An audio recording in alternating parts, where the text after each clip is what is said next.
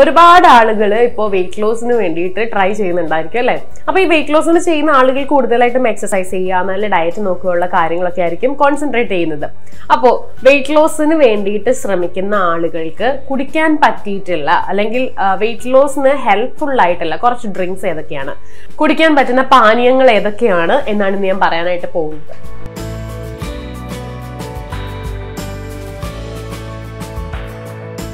ഒന്നാമത്തേത് എല്ലാവർക്കും അറിയാവുന്നത് പോലെ ഗ്രീൻ ടീ ആണ്. ഗ്രീൻ ടീ നമ്മൾ വെയിറ്റ് ലോസിന് ശ്രമിക്കുന്ന സമയത്ത് കുടിക്കുന്നത് നമ്മുടെ മെറ്റബോളിസം ബൂസ്റ്റ് ചെയ്യാനായിട്ട് സഹായിക്കും. അങ്ങനെ നമ്മുടെ ഫാറ്റ് ബേൺ ചെയ്യാനായിട്ട് സഹായിക്കുന്നുണ്ട്. സോ ഗ്രീൻ ടീ കുടിക്കാൻ താല്പര്യമുള്ളവർക്കും ഇഷ്ടമുള്ളവർക്കും ഒക്കെ ദിവസവും ഒരു രണ്ട് ഗ്ലാസ് ഗ്രീൻ ടീ വീതം കുടിക്കാവുന്നതാണ് എക്സസൈസിന് ശേഷം രാവിലെയും.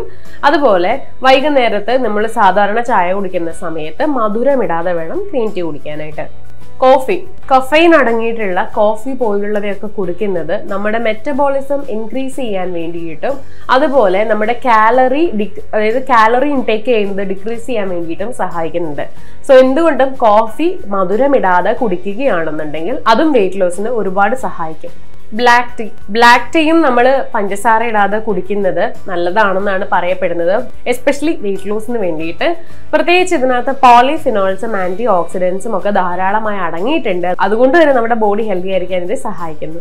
വെള്ളം. സാധാരണ വെള്ളം കുടിച്ചാലും മതി. അതായത് നമ്മൾ രാവിലെ എഴുന്നേറ്റ് വെറും വയറ്റിൽ ഒരു ഗ്ലാസ് വെള്ളം കുടിച്ചിട്ട് എക്സസൈസ് ചെയ്യുക. അതിനുശേഷം എക്സസൈസ് ഒക്കെ കഴിഞ്ഞിട്ട് വീണ്ടും നിറയെ വെള്ളം കുടിക്കുക. അതിനുശേഷം ഒരു ഒരു മണിക്കൂർ ഗ്യാപ്പ് ഇട്ട് ബ്രേക്ക്ഫാസ്റ്റ് കഴിക്കുക. ഇങ്ങനെ ചെയ്ത് കഴിഞ്ഞാൽ നല്ല രീതിയിൽ വെള്ളം കുടിച്ചു കഴിഞ്ഞിട്ടുണ്ടെങ്കിൽ അതും നമ്മുടെ മെറ്റബോളിസം ബൂസ്റ്റ് ചെയ്യാൻ സഹായിക്കും. നമ്മുടെ കാലറി ബേൺ ചെയ്യാനായിട്ടൊക്കെ സഹായിക്കുന്നുണ്ട്. വെള്ളം നമ്മൾ മസ്റ്റായിട്ട് പ്രത്യേകിച്ച് വെയിറ്റ് ലോസിന് ശ്രമിക്കുന്ന ആളുകൾ നന്നായി വെള്ളം കുടിക്കണം.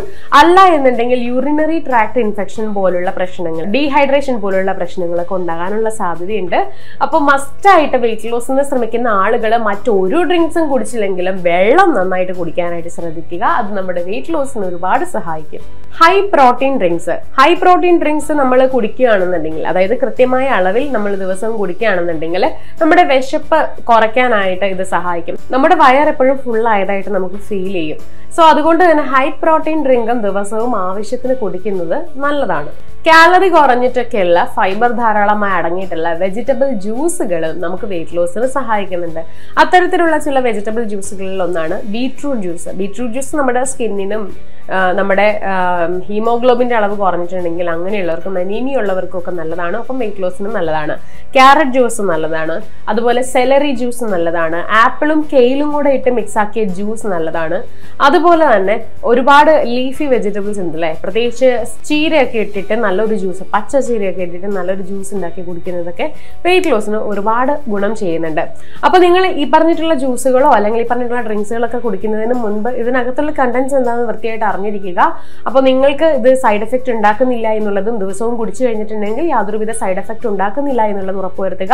പിന്നെ ചില ജ്യൂസുകളുണ്ടല്ലോ അതായത് ബീട്രൂട്ട് ജ്യൂസ് പോലുള്ള ജ്യൂസുകളൊക്കെ ദിവസവും നമ്മൾ കുടിച്ചു കഴിഞ്ഞിട്ടുണ്ടെങ്കിൽ നമ്മുടെ ബി പി ഡൗൺ ആവാനുള്ള സാധ്യതയുണ്ട്. അതുകൊണ്ട് വളരെ കുറഞ്ഞ അളവിൽ ഒരു ദിവസം ഇടവിട്ട് മാത്രം അത്തരത്തിലുള്ള വെജിറ്റബിൾ ജ്യൂസുകളൊക്കെ കുടിക്കാനായിട്ട് ശ്രദ്ധിക്കുക. അമിതമായാൽ അമൃതും വിഷം എന്നാണല്ലോ. അതുകൊണ്ട് തന്നെ നമ്മൾ എപ്പോഴും കൃത്യമായ അളവിൽ മാത്രം എല്ലാം കുടിക്കാനായിട്ട് ശ്രദ്ധിക്കുക. വെള്ളമാണെങ്കിൽ പോലും അളവ് വിട്ട് നമ്മൾ കുടിച്ചു കഴിഞ്ഞിട്ടുണ്ടെങ്കിൽ ഒരുപാട് പ്രശ്നങ്ങൾ ഉണ്ടാവും. സോ അതുകൊണ്ടെല്ലാം കൃത്യമായ അളവിൽ മാത്രം കുടിക്കുക. അതുപോലെ കൃത്യമായ ഇടവേളകളിൽ കുടിക്കുക. അതായത് ഒരു ദിവസം കുടിച്ചു കഴിഞ്ഞാൽ ചിലപ്പോൾ ഈ ബീട്രൂട്ട് ജ്യൂസ് പറഞ്ഞ പോലെ അടുത്ത ദിവസം കുടിക്കാതെ നെക്സ്റ്റ് അതിന് അടുത്ത ദിവസം കുടിക്കേണ്ടവയായിരിക്കും. അതൊക്കെ നോക്കി മാത്രം കുടിക്കുക. പിന്നെ നിങ്ങൾ എന്തെങ്കിലും പേഷ്യൻസോ ഷുഗർ പേഷ്യൻസോ ഹാർട്ട് പേഷ്യൻസോ അങ്ങനെ വല്ലതും ആണെന്നുണ്ടെങ്കിൽ തീർച്ചയായിട്ടും ഒരു ഡോക്ടറെ കൺസൾട്ട് ചെയ്ത് അല്ലെങ്കിൽ നിങ്ങളൊരു ഡയറ്റീഷ്യനെ കൺസൾട്ട് ചെയ്തതിന് ശേഷം മാത്രം ഇത്തരത്തിലുള്ള ഡ്രിങ്ക്സ് ഒക്കെ കുടിക്കാനായിട്ട് ശ്രദ്ധിക്കുക. അല്ലാതെ വേറെ ഹെൽത്ത് ഇഷ്യൂസ് ഒന്നും ഇല്ലാത്ത ആളുകളാണ് നിങ്ങളെങ്കിൽ ഇതിൽ പറഞ്ഞിട്ടുള്ള ഏതെങ്കിലും ഒരു ജ്യൂസ് അല്ലെങ്കിൽ ഏതെങ്കിലും ഒരു ഡ്രിങ്ക് നിങ്ങൾക്ക് ഡെയിലി കുടിക്കാവുന്നതാണ് അല്ലെങ്കിൽ ഓൾട്ടർനേറ്റീവ് ഡേയ്സിൽ കുടിക്കാവുന്നതാണ്. സോ വീഡിയോ എല്ലാവർക്കും യൂസ്ഫുൾ ആയെന്ന് വിചാരിക്കുന്നു. ഇതുപോലുള്ള കൂടുതൽ വീഡിയോസിനായി സമയം മലയാളം സബ്സ്ക്രൈബ് ചെയ്യുക.